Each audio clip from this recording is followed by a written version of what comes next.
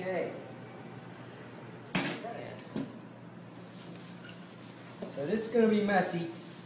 So I It's have to- okay. John said he'd help sweep it up Then we'll after. sweep it up and we'll change to, uh, burlap.